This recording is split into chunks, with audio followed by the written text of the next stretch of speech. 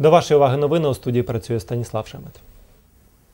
Черкаська поліція розслідує знищення білборду кандидата в президенти України Олександра Вілкула по вулиці Дахнівська, 73. Про це повідомила громадянська мережа Опора.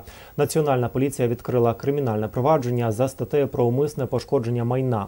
Невідомі особи спиляли конструкцію із політичної реклами кандидата в президенти в обласному центрі вночі 8 лютого.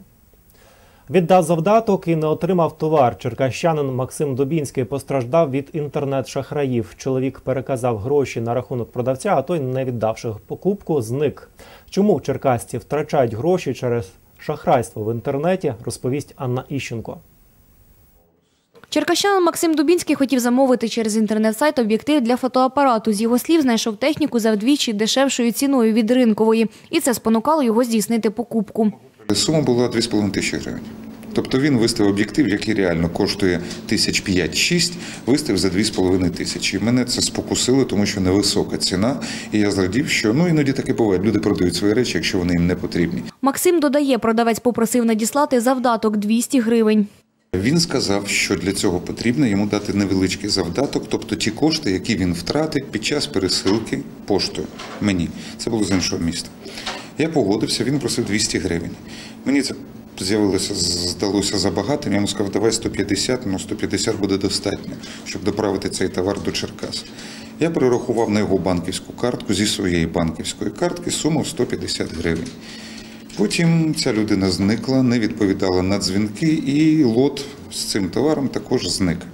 Чоловік каже, раніше купував в інтернеті і не потрапляв у такі ситуації. Вони проходили нормально, тому що завжди вже останні кілька років я багато чого купляю в інтернеті, але ж це все було принципом наложеного платежу. Тобто я плачу гроші лише коли отримую товар. Це було і в цей раз було так само. Єдине, що продавець попросив гроші за пересилку наперед. Таке також іноді буває. За шахрайство у мережі інтернет передбачена кримінальна відповідальність, каже речник управління Національної поліції області Дмитро Грищенко. Шахраї вони в принципі і діють таким чином, що вони підшукують серед громадян е, версти, які нуждаються в коштах. Вони починають так, що ну можемо так сказати, що шахраї в своїй сфері вони професійно працюють. Вони є частково психологами, вони е, впливають на слабкості людини, скажімо так, спонукають людину до того, щоб вона віддавала свої кошти. За шахрайство передбачена відповідальність від е, штрафу до 12 років позбавлення волі з конфіскацією майна. Дмитро Грищенко каже: якщо ви постраждали від інтернет-шахраїв, потрібно звертатись до найближчого відділення поліції. Правоохоронці відкриють провадження. Анна Іщенко, Олег Кураш, Федір Коцаба. Новини.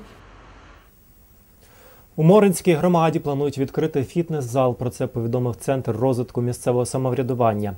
П'ять тренажерів, фітбол, гантелі та килимки для занять встановлять у приміщенні бібліотеки у селі Моринці Корсун-Шевченківського району. За словами заступника голови Моринської об'єднаної тергромади Лілії Жуковської. Поєднання можливостей для інтелектуального та фізичного розвитку дозволить бібліотеці стати центром життя громади. Це була остання інформація. Побачимося пів на дев'яту. До зустрічі.